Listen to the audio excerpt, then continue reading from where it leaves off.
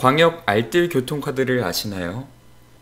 광역 알뜰 교통카드는 교통비를 10% 할인해주고 도보 자전거 시간을 체크해 마일리지로 20% 추가 할인을 해줍니다.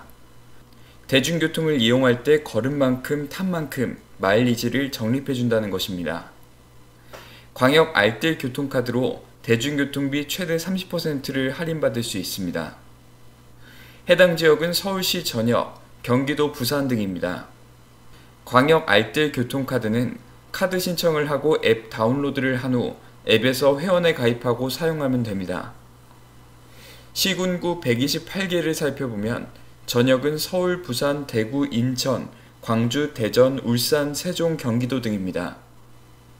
시군구는 충북이 청주, 옥천, 충청남도 천안, 아산, 전북이 전주, 완주, 익산, 남원, 군산, 경북이 포항, 경주, 영주, 경남이 창원, 거제, 김해, 밀양, 산청, 진주, 창녕, 양산, 통영, 고성 등입니다. 가능한 카드는 신한카드, 우리카드, 하나카드인데 조건이 달라 비교해서 자신에게 맞는 걸로 선택하면 됩니다. 대중교통 이용자는 꽝도 먹고 알도 먹는 일석이조 효과를 누릴 수 있습니다. 반응이 센 뉴스 CBC